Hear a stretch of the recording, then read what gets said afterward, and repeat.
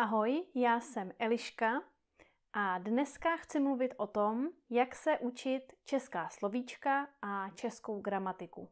Vždycky, když mám první setkání s novým klientem, tak se ho ptám, jak se učíš?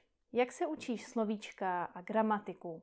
A občas někteří říkají, no, když se učím gramatiku, tak dělám cvičení v učebnici a když se učím slovíčka, tak mám seznam slovíček jako žena, chlapec, dívka nebo aplikaci a učím se tam. A já si myslím, že tenhle způsob není moc efektivní a chci vám dneska ukázat svůj pohled.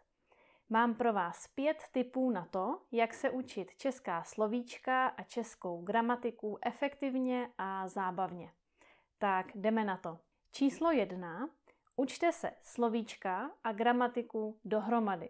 Když jsem byla malá a chodila jsem do školy a měli jsme angličtinu a němčinu, tak jsme se učili právě tímhle způsobem. Gramatika, gramatika, gramatika, slovíčka, slovíčka, slovíčka. Izolovaná slovíčka, jako žena, dívka, chlapec. A já jsem se naučila ta slovíčka, naučila jsem se tu gramatiku, ale když jsem potom měla mluvit, tak jsem vůbec nevěděla, jak na to.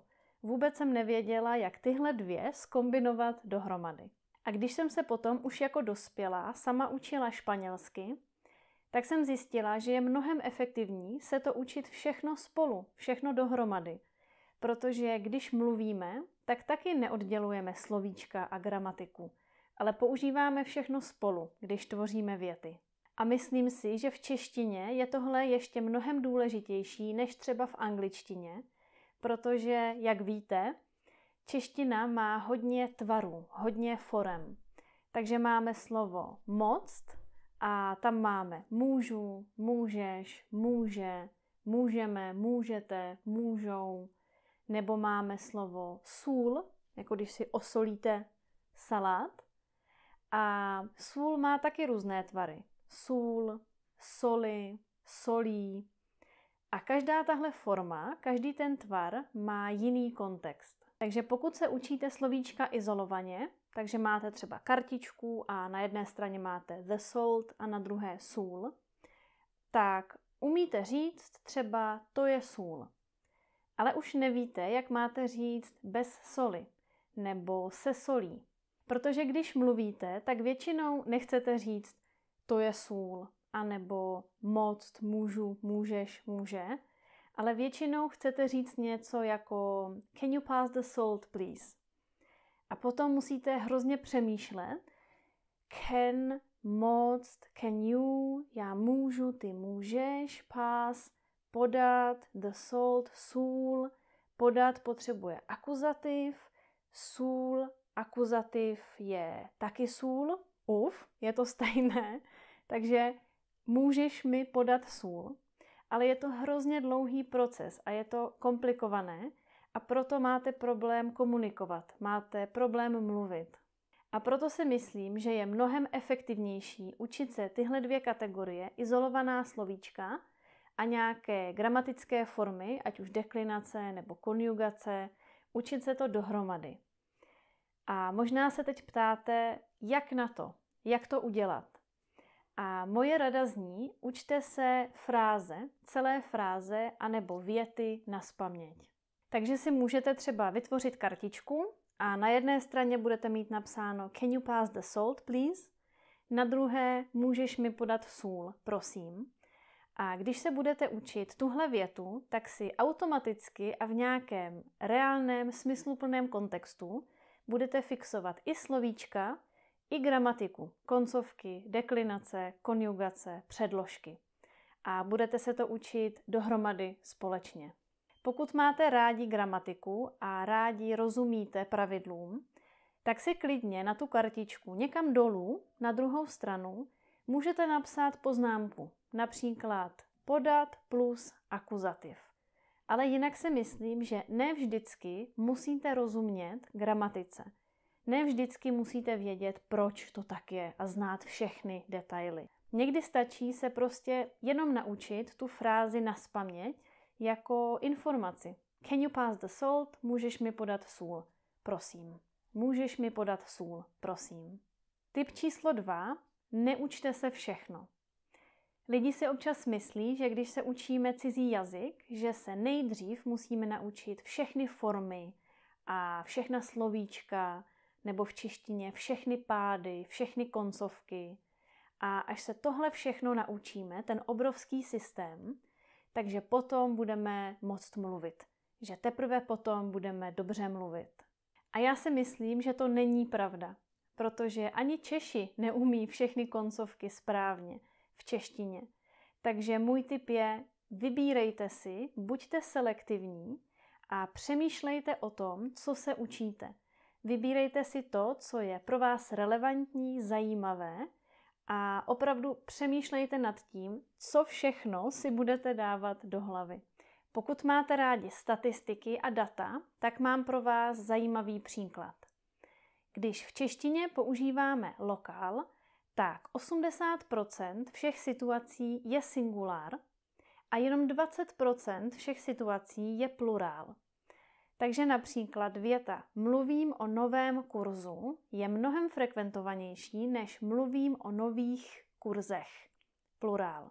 A konkrétně slova jako muž, průvodce nebo turista mají hrozně malou frekvenci výskytu. Je to jenom 0,5% Takže věty jako mluvím o dobrých mužích, mluvím o dobrých turistech, mluvím o dobrých průvodcích se v reálné komunikaci používají strašně málo. Pokud vás to zajímá, tak vám dám dolů do popisku link na celou studii a můžete se podívat na víc detailů. Je to v češtině. A možná si teď říkáte, no jo, Eliško, ale já nevím, co je frekventované. Já nevím, co se mám učit. A moje rada zní, učte se to, co je pro vás důležité. Učte se to, co vy často používáte. Takže například, pokud máte českého partnera a jezdíte k jeho české rodině na návštěvu, tak se neučte věty mluvím o zajímavých mužích, ale učte se věty můžeš mi podat sůl, prosím. Nebo bylo to výborný, děkuju. A nebo můžu ti s něčím pomoct? Takže ještě jednou, neučte se všechno a dobře si vybírejte, co si budete dávat do hlavy. Můj další tip je, nestahujte si slovíčka nebo kartičky z internetu. Moji klienti se mě někdy ptají, Eliško, chci studovat kartičky, flashcards, ale nevím, kde je mám najít. Existují nějaké kartičky na internetu, které si můžu stáhnout? A já vždycky říkám, ano, existují, ale mnohem lepší je, když si budeš dělat svoje vlastní kartičky. A proč? První důvod je, že nikdy nevíte, kdo ty kartičky dělal, kdo je vytvářel a můžou tam být chyby. Za druhé, ty kartičky možná byly relevantní pro člověka, který je dělal, ale nemusí být relevantní nebo zajímavé pro vás. Takže je možné, že jsou tam věty mluvím o dobrých mužích, mluvím o zajímavých průvodcích, ale nejsou tam věty můžeš mi podat sůl, prosím. Nebo bylo to výborné, děkuju. Nebo můžu ti s něčím pomoct. Za třetí, kartičky z internetu jsou často takové hodně technické nebo oficiální. Hodně často tam jsou slovíčka jako žena, chlapec, dívka, ale aspoň tady v Praze, kde žiju já, nikdy nikdo neříká, je tam nějaká žena. Všichni říkají, je tam nějaká paní. A nebo možná trošku negativně je tam nějaká ženská. A taky nikdo neříká chlapec a dívka. Tady všichni říkají holka a kluk. Takže můj tip je, nehledejte slovíčka na internetu, ale hledejte slovíčka kolem sebe, v reálném světě. A ideálně celé fráze nebo celé věty. Takže například, když mluvíte s českým kamarádem a on řekne něco zajímavého, tak mu klidně můžete říct, počkej a napište si to. A potom se to můžete naučit. Můžete si psát zajímavé věty z vašeho českého kurzu v jazykové škole, nebo věty, které vám napsal váš český lektor, český učitel. A nebo třeba, když mluvíte se svým českým kamarádem a nevíte, jak se něco řekne česky, tak se ho zeptáte, jak se řekne česky Can you pass me the salt? A on řekne, můžeš mi podat sůl, prosím. Tak si to napište a naučte se to. Můžeš mi podat sůl, prosím. Náš mozek má rád logické a osobní věci. Takže když se snažíte učit fráze z internetu, to je zajímavá žena, nebo mluvím o dobrých průvodcích, tak si náš mozek říká, a co to je? Já to nepotřebuju, já si to nechci pamatovat. Ale když se učíte fráze z vlastního života nebo věty z vlastního života, můžeš mi podat sůl, prosím, tak váš mozek si řekne, a to říkala moje tchýně, když jsme u ní byli minulý víkend na obědě a já to příště můžu použít, až tam budu. Je to pro mě něco užitečného, to se chci naučit, to si chci zapamatovat. Takže ještě jednou, nestahujte si slovíčka z internetu, ale dělejte si svoje vlastní kartičky. Tip číslo čtyři. Používejte Spaced Repetition System. A hned vám řeknu, co to je. Tenhle systém nám pomáhá se učit efektivněji a ukládat si informace do dlouhodobé paměti. A používají ho aplikace jako Anki nebo Memrise. Já osobně mám hodně ráda Anki a používám tuhle aplikaci, když se učím španělsky. Takže vám teď ukážu svoji aplikaci, ukážu vám svoje španělská slovíčka a ukážu vám, jak Spaced Repetition System funguje v praxi. Takže tady mám kartičku, předem díky za odpovědi a já musím říct, jak se to řekne španělsky. A já si pamatuju, že díky za odpovědi je gracias por las respuestas, ale nepamatuju si, jak se řekne španělsky předem. Takže já teď kliknu a vidím španělskou verzi a vidím, že předem se řekne de antemano. A tady dole ve spodní části vidíte různé nabídky. Úplně vlevo to znamená, že jsem vůbec nevěděla. A když na to kliknu, tak dostanu kartičku zpátky za 10 minut. Potom to oranžové znamená, že to pro mě bylo těžké a v tom případě tu kartu dostanu za 8 nebo 9 měsíců. Když kliknu na to zelené, tak to znamená, že jsem to věděla dobře a dostanu tu kartu zpátky za 2,5 roku. A když kliknu na jednoduché, tak ji dostanu zpátky až za 6 let. Tady chci jenom říct, že ta karta je tam už hodně dlouho. A proto tam je 10 minut, 8 měsíců, 2 roky, 6 let. Ale když je ta karta nová, tak tam máte třeba jednu minutu, 10 minut, dva dny a týden. Na základě toho, na co kliknete, vůbec nevím, nebo hm, bylo to těžké, bylo to v pohodě, anebo hm, jednoduché, tak ta aplikace vám tu kartu vrátí zpátky v nějakém speciálním intervalu. Takže když vy už, už, už chcete zapomenout tu informaci, tak dostanete tu kartu zpátky, znovu si vzpomenete a díky tomuhle systému si ty informace, ty věty ukládáte do dlouhodobé paměti. Takže je trénujete ve správných intervalech. Díky tomuhle systému se taky nemusíte každý den učit všechno, všechny karty, které máte, ale učíte se opravdu jenom to, co je pro vás nové, anebo co je pro vás těžké, co je pro vás komplikované. A můžete buď pracovat s aplikacemi, Anki, Memrise. Pokud nemáte rádi aplikace a máte radši fyzický papír, tak můžete pracovat s fyzickými papírovými kartičkami a dávat si je do různých krabiček, do různých boxů. A já vám dám dolů do popisku link, kde uvidíte víc podrobností, jak to udělat. Hodně, hodně důležité je si vždycky na první stranu té karty psát tu větu v angličtině nebo ve vašem rodném jazyce. Protože když si to napíšete česky, když tam napíšete můžeš mi podat sůl, prosím, tak vy to vidíte a říkáte si můžeš mi podat sůl znamená can you pass me the salt please. To znamená, že vy tu kartu umíte pasivně. Když to někde vidíte nebo když to někdo řekne, tak vy rozumíte, co to znamená. Ale vy se potřebujete učit aktivně. To znamená, že vy musíte na první stranu napsat Can you pass me the salt? A potom musíte aktivně přemýšlet, jak se to řekne česky.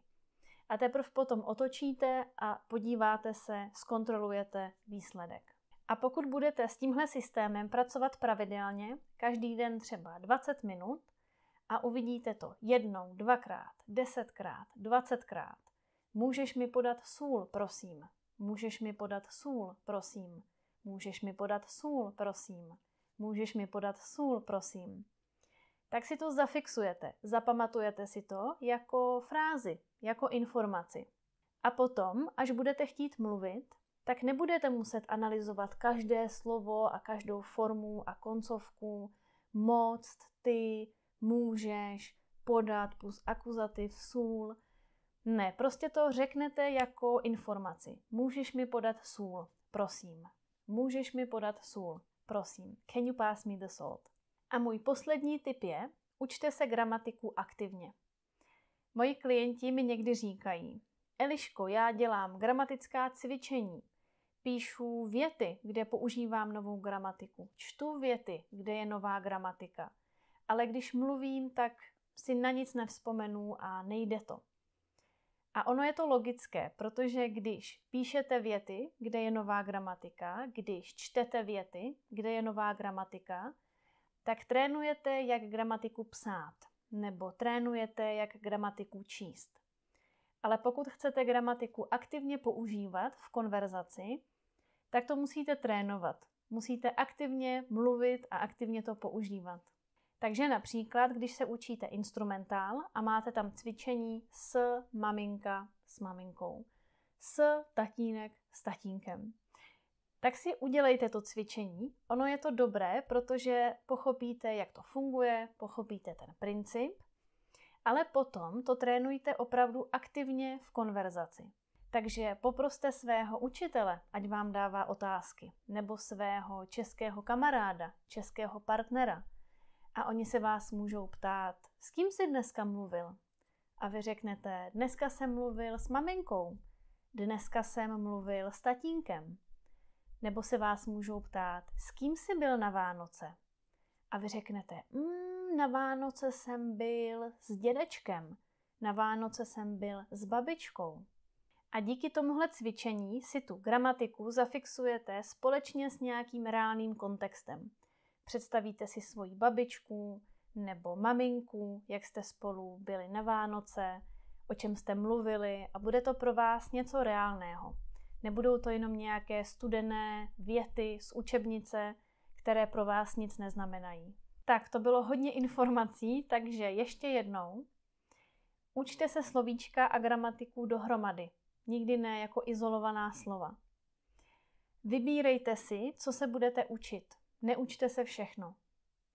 Nestahujte si karty z internetu, dělejte si svoje vlastní. Používejte Spaced Repetition System a gramatiku se učte aktivně a v konverzaci. A co vy? Jak se učíte slovíčka a gramatiku? A funguje vám to? Máte nějaké další typy na to, jak se učit zábavně a efektivně? Já budu moc ráda, když to napíšete do komentářů, aby se mohli podívat i ostatní. A ještě než skončíme, tak mám pro vás malý kvíz. Jak se řekne česky? Can you pass me the salt, please? Tak to je všechno, mějte se hezky, ahoj.